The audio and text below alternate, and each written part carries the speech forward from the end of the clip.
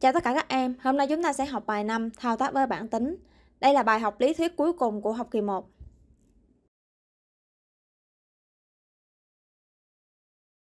Nội dung bài 5 gồm có 1. Điều chỉnh độ rộng của cột và độ cao của hàng 2. Chèn thêm hoặc xóa cột và hàng 3. Sao chép và di chuyển dữ liệu 4. Sao chép công thức Chúng ta vào phần đầu tiên, phần số 1 Điều chỉnh độ rộng của cột và độ cao của hàng. Đầu tiên, điều chỉnh độ rộng của cột. Bước 1. Em đưa con giỏ chuột vào biên bên phải của tên cột cần điều chỉnh. Bước 2. Kéo thả sang phải để mở rộng hay sang trái để thu hẹp. Ở đây cô có một bảng điểm, cột họ tên đã được tăng độ rộng. Và để tăng độ rộng thì cô sẽ đưa con giỏ chuột vào đường biên bên phải của cột họ tên. Đó là vào đường biên bên phải của cột B. Và em phải để ngay tên cột tên cột sẽ nằm ở vị trí này. Khi em đưa con chó chuột vào đường biên, thì con chó chuột sẽ biến thành dấu cộng màu đen như thế này. Lúc này em sẽ bắt đầu kéo thả chuột sang phải để tăng độ rộng của cột lên, hoặc là em kéo thả chuột sang trái để giảm độ rộng của cột. Tiếp theo, điều chỉnh độ cao của hàng. Bước 1. Đưa con chó chuột vào đường biên bên dưới của tên hàng cần điều chỉnh. Bước 2. Kéo thả chuột để thay đổi độ cao của hàng.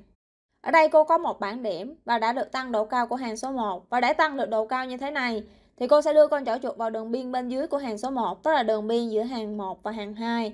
Nằm ở vị trí này ngay tại tên hàng, em không đưa vào phía bên trong. Lúc này con chỏ chuột sẽ biến thành dấu cộng màu đen, giống như khi điều chỉnh độ rộng của cột. Em sẽ nắm kéo xuống dưới để làm tăng độ cao của hàng hoặc em kéo lên trên để làm giảm độ cao của hàng. Và em lưu ý, Ngoài cách điều chỉnh độ rộng của cột và độ cao của hàng như phía bên trên, em còn có thể nháy đúp chuột trên vạch phân cách cột hoặc hàng để điều chỉnh độ rộng của cột, độ cao của hàng vừa khít với dữ liệu có trong cột hoặc hàng đó.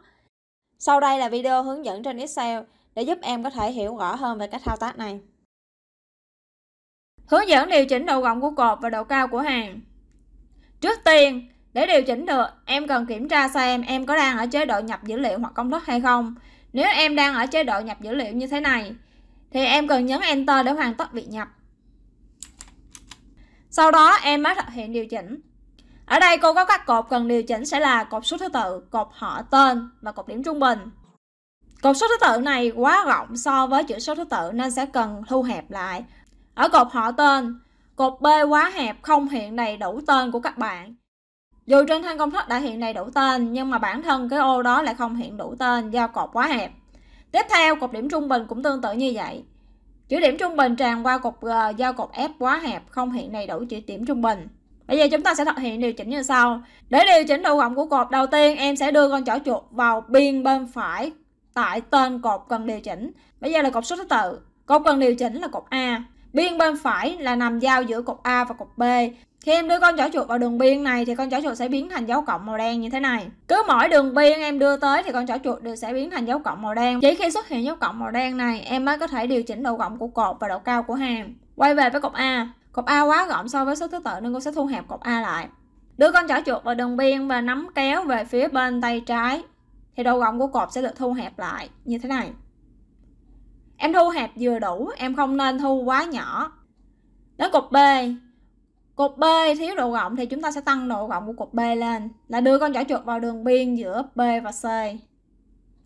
Nắm kéo qua phải để tăng độ rộng của cột B lên. Ở đây cô kéo chưa đủ nên chữ Hoàng An vẫn chưa hiện đủ. Nên cô sẽ tiếp tục kéo. Cuối cùng là cột điểm trung bình. Ở cột điểm trung bình này, cô sẽ không kéo thả chuột nữa, mà cô sẽ nháy đúp chuột vào đường biên bên phải của cột cần thay đổi độ rộng. Cột điểm trung bình nằm ở cột F Đường biên bên phải của cột F là nằm ở vị trí này. Giao giữa F và G. Bây giờ cô sẽ không nắm kéo nữa, cô sẽ nháy đúp chuột. Cột F sẽ tự động điều chỉnh độ rộng để vừa khích với chữ điểm trung bình này. Vậy là em có hai cách để thao tác. Khi thực hành em có thể chọn bất kỳ cách nào, nhưng mà lý thuyết thì nhớ học hết cả hai cách. Tiếp theo thay đổi độ cao của hàng. Thông thường thay đổi độ cao của hàng là muốn làm nổi bật cái hàng đó lên, chẳng hạn như hàng bản điểm lớp 7A là một cái hàng tiêu đề nên cần phải làm nổi bật lên. Và để thay đổi độ cao của hàng, em cũng đưa con chỏ chuột vào đường biên giữa tên hàng và đây là biên bên dưới. Ở đây cô cần thay đổi hàng số 1 là hàng này. Thì bây giờ cô sẽ đưa con chỏ chuột vào đường biên bên dưới của tên hàng số 1. Tên hàng là nằm 1, 2, 3, 4 nha em. Biên bên dưới là biên giữa hàng 1 và hàng 2. Và để tăng độ cao của hàng, em sẽ nắm kéo xuống. Thì độ cao của hàng sẽ được tăng lên. Ngược lại nếu em nắm kéo lên thì độ cao của hàng sẽ được giảm xuống. Đó là điều chỉnh độ rộng của cột và độ cao của hàng. Ở đây em cần chú ý, em phải đưa con chỏ chuột tại tên hàng hoặc tên cột để điều chỉnh. Còn nếu em đưa con chỏ chuột tại đường biên giữa các hàng và các cột nhưng mà không phải tên hàng hoặc là tên cột thì con chỏ chuột sẽ không phải là dấu cộng màu đen như thế này mà nó sẽ là dấu cộng màu trắng. Đến lúc đó dù nắm kéo như thế nào nó cũng sẽ là chọn khối hoặc là di chuyển dữ liệu chứ không thể thay đổi độ rộng của cột hoặc hàng. Phần 2 nhỏ. Chèn thêm hoặc xóa cột và hàng Phần A. Chèn thêm cột hoặc hàng Để chèn thêm cột hoặc hàng Bước 1 Em nháy chuột chọn một cột hoặc một hàng Bước 2 Em vào thẻ Home, đến nhóm lệnh sao và chọn Insert. Hoặc là em có thể nhấn chuột phải chọn Insert. Vậy là bước 2 em có hai cách. Khi thực hành, em có thể chọn bất kỳ cách nào cũng được. Chèn cột và hàng có một số lưu ý như sau Thứ nhất Cột mới được chèn thêm vào nằm ở phía trước, tức là bên trái của cột được chọn. Thứ hai, hàng mới được thêm vào sẽ nằm phía trên hàng được chọn. Thứ ba, nếu em chọn nhiều cột hoặc nhiều hàng, số cột và số hàng mới được thêm vào sẽ bằng đúng số cột và số hàng mà em đã chọn. Phần B, xóa cột hoặc hàng. Để xóa cột hoặc hàng, bước 1. Chọn cột hoặc hàng cần xóa. Bước 2. Ta vào Home, trong nhóm lệnh sale chọn Delete. Hoặc là em cũng có thể nhấn chuột phải tại cột đã chọn và nhấn Delete. Phần này bước 2 cũng có hai cách giống như phía bên trên. Và em lưu ý, khi em xóa cột, cột bên phải sẽ được đẩy sang trái. Khi em xóa hàng, các hàng phía dưới sẽ được đẩy lên trên. Bây giờ cô sẽ chỉ ra vị trí của nút Insert và nút Delete để cho em biết nó nằm ở vị trí nào. Đây là thẻ Home. Và đây là nhóm lệnh Cell. Trong nhóm lệnh Cell này, phía trên này sẽ là Insert và Delete. Và sau đây là video hướng dẫn chèn thêm hoặc xóa cột và hàng. Hướng dẫn chèn thêm hoặc xóa cột và hàng. Đầu tiên, để chèn thêm cột hoặc hàng, em cần chọn một cột hoặc một hàng. Ở đây cô sẽ chọn cột ngữ văn, tức là cột E. Và để chọn một cột, em sẽ nhấn vào tên cột. Sau khi chọn một cột, em sẽ vào thẻ Home. Thẻ home là trên đây. Sau đó nhấn insert. Insert nằm phía bên này. Thì em sẽ có thêm một cột mới nằm phía trước cột em mới vừa được chọn. Lúc nãy chúng ta đã chọn cột ngữ văn thì bây giờ chúng ta có một cột trống nằm ở phía trước cột ngữ văn. Tiếp theo để chèn hàng. Để chèn hàng em cũng làm tương tự như vậy. Để chèn được một hàng em sẽ chọn một hàng. Ở đây cô sẽ chọn hàng của bạn Lê Thái Anh là hàng số 5 sau đó cô cũng lên thẻ Home và chọn Insert. Và cô sẽ nhận được một hàng mới nằm ở phía trên cái hàng cô vừa được chọn. Lúc nãy là cô chọn hàng của bạn Lê Thế Anh, thì bây giờ cô có một hàng mới nằm về phía trên hàng cô mới vừa được chọn. Vậy là khi em chèn thêm cột hoặc hàng, thì đối với chèn cột cột được chèn thêm sẽ nằm ở phía trước cột được chọn, tức là nằm bên trái của cột được chọn. Và hàng được chèn thêm, và hàng được chèn thêm thì sẽ nằm ở phía trên của hàng được chọn ngoài cách sử dụng thẻ Home và nút Insert ra thì em có thể nhấn chuột phải Bây giờ cô sẽ chèn thêm một cột mới. Ở đây cô sẽ chọn cột A. Sau khi chọn cột A, cô sẽ không vào thẻ Home hay là nhấn Insert gì hết. Cô sẽ nhấn chuột phải tại tên cột. Em chọn cột A thì em sẽ nhấn chuột phải tại cột A. Lúc này sẽ có một cái bảng sổ xuống, em chọn Insert. Thì cũng sẽ có một cột được chèn thêm vào tương tự như em sử dụng Home và Insert. Tiếp theo, chèn một hàng. Ở đây cô sẽ chọn hàng của bạn Nguyễn Linh Chi. Em nhớ là khi chèn hàng em cũng nhấn vào tên hàng. Tên hàng là những con số này. Sau khi chọn một hàng cô cũng nhấn chuột phải và chọn Insert. Và tương tự như lúc nãy cũng sẽ có một hàng được chèn thêm ở phía trên hàng cô vừa chọn. Lúc nãy cô chọn hàng của bạn Nguyễn Linh Chi nên bây giờ có một hàng được chèn thêm ở phía trên hàng của bạn Nguyễn Linh Chi. Tiếp theo là xóa cột. Để xóa cột em cũng có hai cách. Cách đầu tiên, để xóa một cột đầu tiên, em sẽ chọn cột đó. Nhớ là khi chọn cột cũng nhấn vào tên cột. Sau đó em cũng vào thẻ Home và em sẽ nhấn nút Delete phía trên này. Thì cái cột vừa được chọn sẽ được xóa đi và sẽ đẩy những cái cột ở phía sau lên phía bên trái. Xóa hàng em cũng làm tương tự. Ở đây cô muốn xóa hàng số 10, cô cũng sẽ chọn hàng số 10. Sau đó vào thẻ Home và nhấn Delete thì hàng cũng sẽ được tự động xóa đi. Ngoài cách sử dụng Home và Delete thì giống như tràn cột, em cũng có thể nhấn chuột phải bằng cách chọn cột cần xóa. Ở đây cô sẽ chọn cột A. Sau đó nhấn chuột phải vào tên cột A và chọn Delete. Thì cột A trống ban đầu sẽ được xóa đi. Những dữ liệu từ những cột còn lại sẽ được đẩy lên về phía bên trái. Tương tự như vậy, cô muốn xóa hàng số 5 này cũng vậy. Cô sẽ chọn hàng số 5. Sau đó nhấn chuột phải và chọn Delete. Những dữ liệu bên dưới của cái cột vừa xóa sẽ được đẩy lên trên. Và em tuyệt đối không sử dụng nút Delete dưới bàn phím để xóa cột. Ở đây cô ví dụ cô muốn xóa cột vật lý luôn. Bây giờ cô sử dụng thao tác bình thường trước cho em thấy. Đầu tiên cũng chọn cột, sau đó nhấn chuột phải Delete. Là cột vật lý sẽ mất luôn và cột ngữ văn sẽ được đẩy lên. Bây giờ cô sẽ quay về thao tác lúc nãy để thử xóa bằng cách nhấn phím Delete. Bây giờ cột vật lý đã quay trở lại. Cô cũng chọn cột vật lý. Đây là bàn phím ảo trên máy tính, nó có thể thay thế bàn phím bình thường của em. Cô để hiện ra cho em dễ nhìn thấy. Cô đã chọn cột vật lý rồi. Bây giờ cô sẽ không dùng Home hay Delete hay là nhấn chuột phải Delete nữa. Cô sẽ nhấn Delete ở trên bàn phím. Rồi như em thấy là dùng Delete ở trên bàn phím là em chỉ xóa dữ liệu thôi. Còn bản thân cái cột này nó vẫn còn tồn tại. Nên khi người ta yêu cầu xóa cột thì em nhớ là chọn cột rồi vào Home nhấn Delete. Hoặc là chọn cột, nhấn chuột phải rồi delete. Tương tự như vậy, hàng cũng vậy. Em tuyệt đối không dùng nút delete ở trên bàn phím. Em dùng nút delete ở trên bàn phím chỉ là xóa dữ liệu thôi, chứ không phải là xóa cột. Em nhớ chú ý để đừng để bị nhầm lẫn về lý thuyết giữa nút delete ở dưới bàn phím và delete ở trên giải lệnh Home.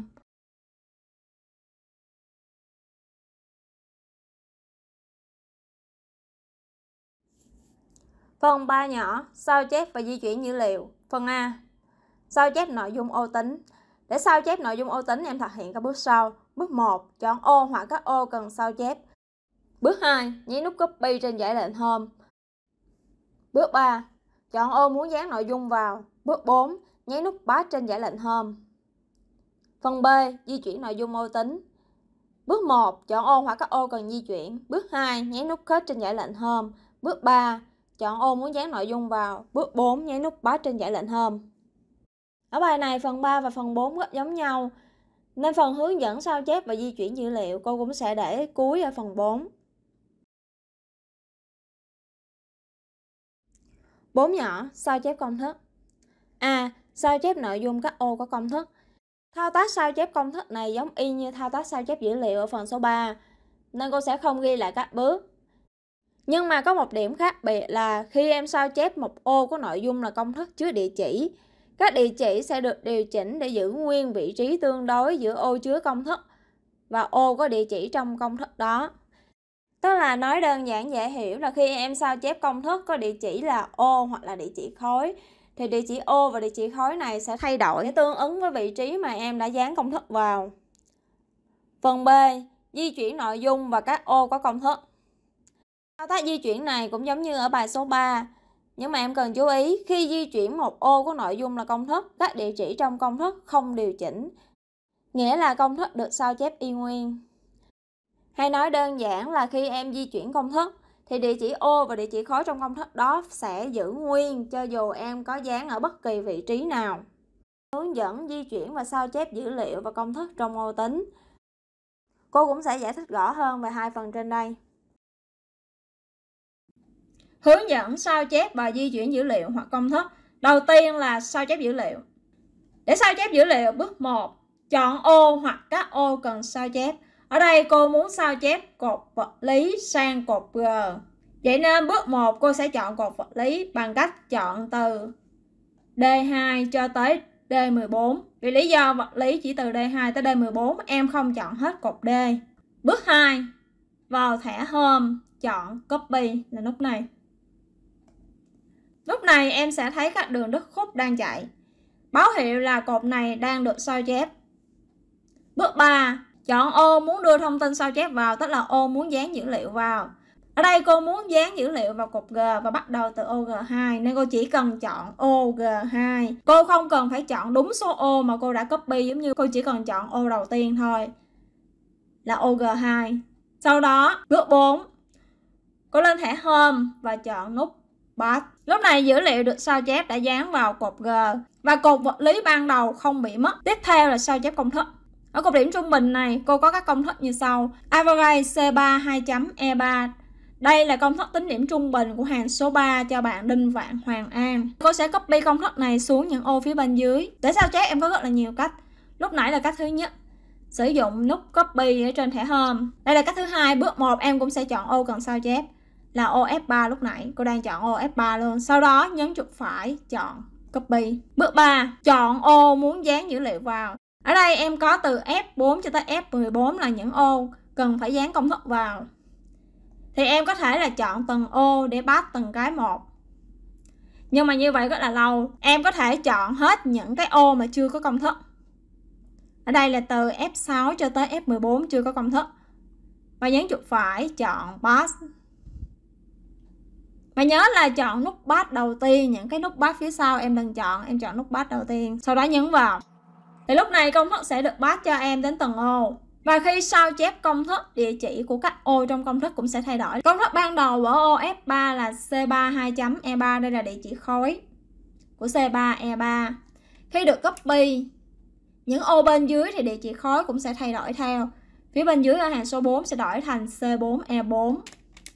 Và ở hàng cuối cùng sẽ đổi thành C14, E14. Vậy khi sao chép công thức, địa chỉ ô và địa chỉ khối sẽ thay đổi để tương ứng với cái hàng được dán công thức. Tiếp theo là di chuyển dữ liệu và công thức. Để di chuyển dữ liệu, bước 1 cô cũng chọn ô hoặc các ô cần di chuyển. Ở đây cô muốn di chuyển cột toán. Vậy thì cô sẽ chọn cột toán từ C2 cho tới C14. Bước 2, cô vào thẻ Home, nhấn nút Cut.